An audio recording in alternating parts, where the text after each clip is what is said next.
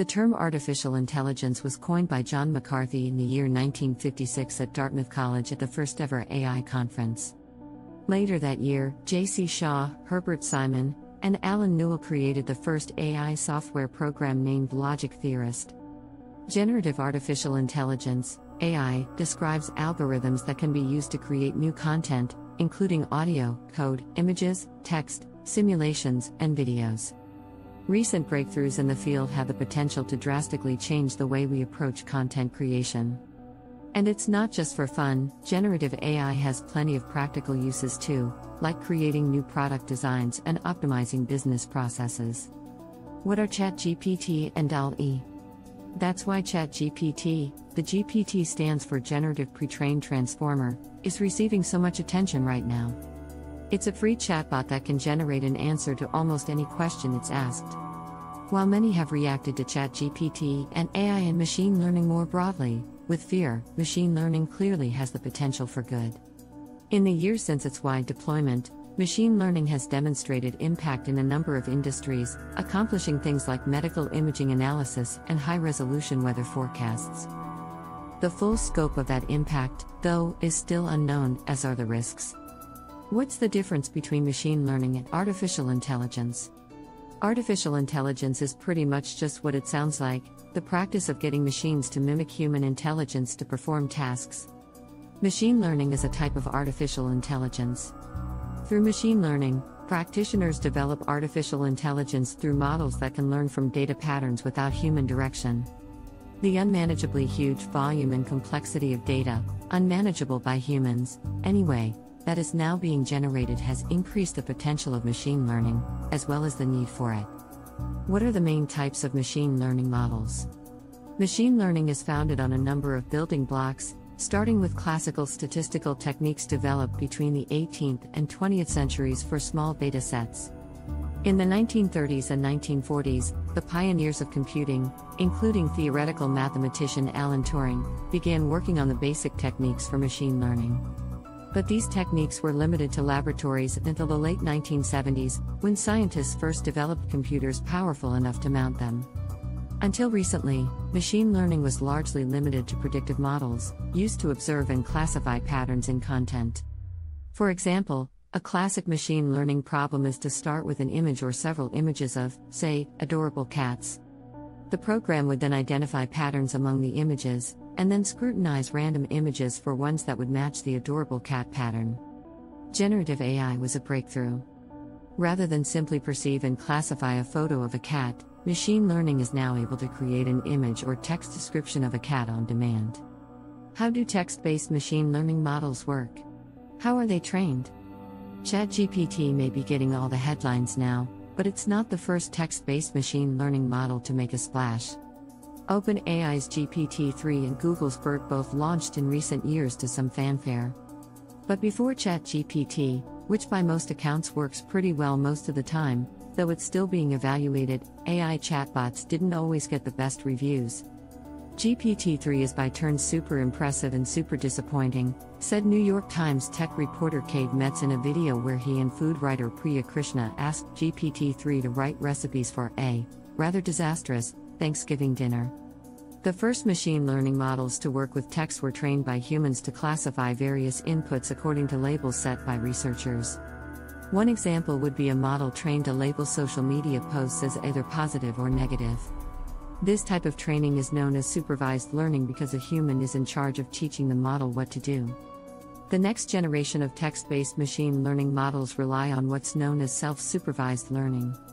This type of training involves feeding a model a massive amount of text so it becomes able to generate predictions. For example, some models can predict, based on a few words, how a sentence will end. With the right amount of sample text, say, a broad swath of the internet, these text models become quite accurate. We're seeing just how accurate with the success of tools like ChatGPT. What does it take to build a generative AI model? Building a generative AI model has for the most part been a major undertaking, to the extent that only a few well resourced tech heavyweights have made an attempt. OpenAI, the company behind ChatGPT, former GPT models, and DALL-E, has billions in funding from boldface name donors. DeepMind is a subsidiary of Alphabet, the parent company of Google, and Meta has released its Make-A-Video product based on generative AI. These companies employ some of the world's best computer scientists and engineers. But it's not just talent. When you're asking a model to train using nearly the entire internet, it's going to cost you. What kinds of output can a generative AI model produce? As you may have noticed above, outputs from generative AI models can be indistinguishable from human generated content, or they can seem a little uncanny. The results depend on the quality of the model, as we've seen. ChatGPT's outputs so far appear superior to those of its predecessors, and the match between the model and the use case, or input. ChatGPT can produce what one commentator called a solid A essay comparing theories of nationalism from Benedict Anderson and Ernest Gellner, in 10 seconds.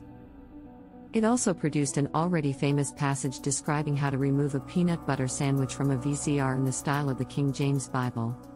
AI generated art models like DALL-E, its name a mashup of the surrealist artist Salvador Dali and the lovable Pixar robot WALL-E, can create strange, beautiful images on demand, like a Raphael painting of a Madonna and child eating pizza. Other generative AI models can produce code, video, audio, or business simulations. But the outputs aren't always accurate or appropriate. When Priya Krishna asked DALL-E 2 to come up with an image for Thanksgiving dinner, it produced a scene where the turkey was garnished with whole limes, set next to a bowl of what appeared to be guacamole. For its part, ChatGPT seems to have trouble counting, or solving basic algebra problems, or, indeed, overcoming the sexist and racist bias that lurks in the undercurrents of the internet and society more broadly. Generative AI outputs are carefully calibrated combinations of the data used to train the algorithms. Because the amount of data used to train these algorithms is so incredibly massive as GPT 3 was trained on 45 terabytes of text data, the models can appear to be creative when producing outputs. What's more, the models usually have random elements, which means they can produce a variety of outputs from one input request, making them seem even more lifelike. What kinds of problems can a generative AI model solve? You've probably seen that generative AI tools, toys, like ChatGPT, can generate endless hours of entertainment. The opportunity is clear for businesses as well. Generative AI tools can produce a wide variety of credible writing in seconds, then respond to criticism to make the writing more fit for purpose. And with the time and resources saved here, organizations can pursue new business opportunities and the chance to create more value. We've seen that developing a generative AI model is so resource intensive that it is out of the question for all but the biggest and best resourced companies. Companies looking to put generative AI to work have the option to either use generative AI out of the box or fine tune them to perform a specific task. If you need to prepare slides according to a specific style, for example, you could ask the model to learn how headlines are normally written based on the data in the slides, then feed it slide data and ask it to write appropriate headlines. What are the limitations of AI models? How can these potentially be overcome? Since they are so new, we have yet to see the long tail effect of generative AI models. This means there are some inherent risks involved in using them, some known and some unknown. The outputs generative AI models produce may often sound extremely convincing. This is by design. But sometimes the information they generate is just plain wrong. Worse, sometimes it's biased, because it's built on the gender, racial, and myriad other biases of the internet and society more generally and can be manipulated to enable unethical or criminal activity. For example, ChatGPT won't give you instructions on how to hotwire a car, but if you say you need to hotwire a car to save a baby, the algorithm is happy to comply.